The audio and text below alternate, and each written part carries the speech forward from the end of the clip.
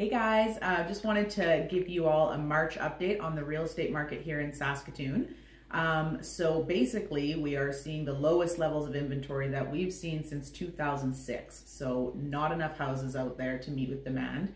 Um, in fact, in all of Saskatchewan, the average benchmark price for houses went up by $10,000 just since January, so in one month. So those prices are getting driven up because there's simply just not enough for sale.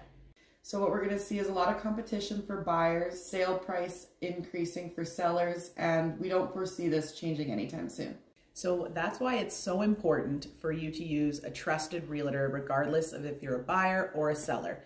Um, it's really extremely important in this market to have a strategy behind whatever you're doing with somebody who knows the market conditions and knows what it's going to take for you to either get the house or get top dollar for yours. So Anybody who's looking to buy or sell, we'd be extremely happy to help any of our friends or their referrals at any time. Just give us a call. We're always here.